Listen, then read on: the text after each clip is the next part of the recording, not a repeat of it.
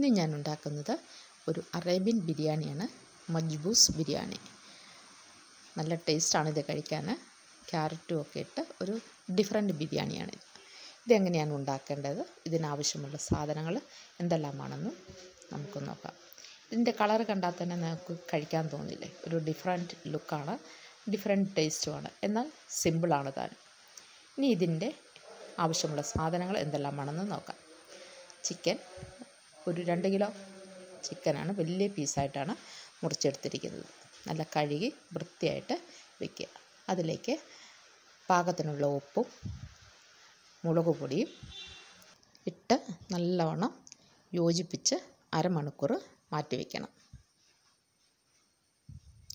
അങ്ങനെ ഞാൻ മുളക് പൊടിയൊക്കെ തിരുമ്മി അരമണിക്കൂർ ഇത് മാറ്റി വെച്ചിരുന്നതാണ്. ഇനി ഇനി ഇതിലേക്ക് ഇഞ്ചി വെളുത്തുള്ളി പച്ചമുളക്. ഇതെല്ലാം കൂടെ മിക്സിക്കകത്തിട്ട് നല്ലവണ്ണം പേസ്റ്റ് പോലെ അരച്ചെടുക്കണം. ഇനി ഇഞ്ചിട്ട് അടുപ്പത്ത് വെച്ച് എണ്ണ ഒഴിച്ച് കറിവേപ്പില ഞാൻ ഇട്ടിരിക്കുന്നതാണ് കേട്ടോ. അറേബ്യൻ ബിരിയാണിക്കകത്ത് കറിവേപ്പിലയൊന്നുമില്ല. അത് കറിവേപ്പിലയുടെ ടേസ്റ്റ് കിട്ടാൻ വേണ്ടിയാണ് ഞാൻ അങ്ങനെ ഇട്ടിരിക്കുന്നത്. ചിക്കനെല്ലാം വറുത്ത് കോരണം എന്റെ വീഡിയോസ് ആദ്യമായിട്ടാണ് കാണുന്നവരെങ്കിൽ സബ്സ്ക്രൈബ് ചെയ്യാൻ മറക്കരുത്. ലൈക്കും കമൻസും ഇടണം. സൈഡിലൊരു ബെല്ലൈക്കണുണ്ട്. അത് പ്രസ് ചെയ്തണം. എന്നിട്ട് ഓൾ എന്നുള്ള ഓപ്ഷനിൽ ക്ലിക്ക് ചെയ്താൽ എന്റെ വീഡിയോസൊക്കെ നിങ്ങൾക്ക് കിട്ടും. ഇനി ഇതിലേക്ക് ആ ചിക്കൻ എല്ലാം വറുത്ത് കോരിയ എണ്ണയിലേക്ക് തന്നെ അരച്ച് കൊണ്ടുവന്ന ഇഞ്ചി വെളുത്തുള്ളി പേസ്റ്റ് ചേർത്ത് മൂപ്പിച്ചെടുക്കുക. ഇനി അതിലേക്ക് സവോള. ഞാൻ മൂന്ന് വലിയ സവോളയാണ് എടുത്തിരിക്കുന്നത്.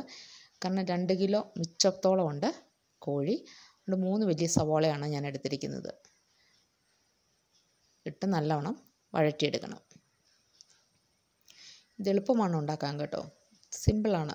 നമ്മൾ പേര് കേൾക്കുമ്പോൾ ഓർക്കും വലിയ സംഭവമാണ്. അങ്ങനെയൊന്നുമില്ല. നമുക്ക് നമ്മുടേതായ രീതിയിൽ കുറച്ചൊക്കെ മാറ്റങ്ങൾ വരുത്താം എന്നേ ഉള്ളൂ.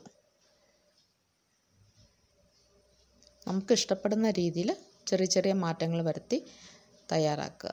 ഇനി ഇതിലേക്ക് ഗരം മസാല ഒരു ടേബിൾ സ്പൂൺ മുളക് പൊടി ഒരു ടേബിൾ സ്പൂണ്. ചിക്കനിൽ നേരത്തെ ചേർത്തിട്ടുണ്ടായിരുന്നു. അതുകൊണ്ട് ഒരു ടേബിൾ സ്പൂൺ മുളക് പൊടി ഗരം മസാല ചേർക്കുക. സ്വല്പം മഞ്ഞൾപ്പൊടി ചേർക്കാം. എന്നിട്ട് മല്ലിയിലയും പുതിനയിലയും കൂടെ ഇട്ട് നല്ലവണ്ണം യോജിപ്പിക്കുക. ഇനി എനിക്ക് ഇതിൽ തക്കാളിക്കയാണ് ചേർക്കേണ്ടത്. എന്റെ തക്കാളിക്ക ഇല്ലായിരുന്നു. അതുകൊണ്ട് ഞാൻ ഇതിലേക്ക് തൈര് ഒരു കപ്പ് ചെറിയൊരു കപ്പിന് ഒരു കപ്പ് തൈരാണ് ചേർത്തിരിക്കുന്നത്. ഒരു ചെറിയൊരു പുളിപ്പ് കിട്ടാൻ വേണ്ടിയാണ് തൈര് ചേർത്തത്.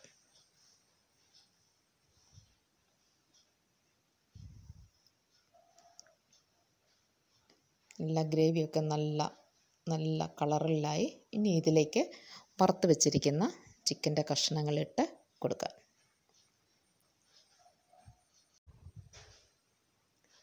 നല്ല ടേസ്റ്റാണ് കേട്ടോ ഈ ബിരിയാണി കഴിക്കാനായിട്ട്. എല്ലാവരും ട്രൈ ചെയ്ത് നോക്കണം.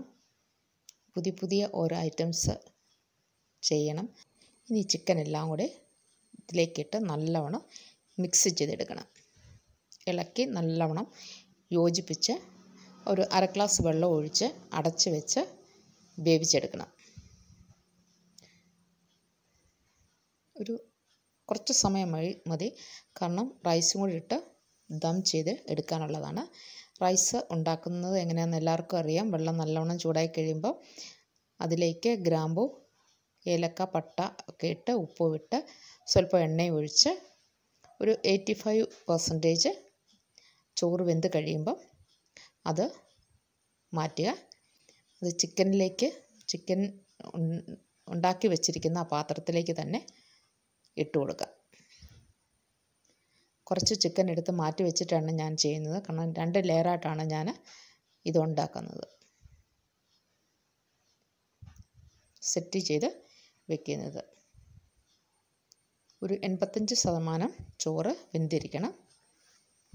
അത് ചിക്കനാണേലും കണ്ടമാനം വെന്ത് പോവരുത്. അതും നോക്കി വേണം ചെയ്യാനായിട്ട്.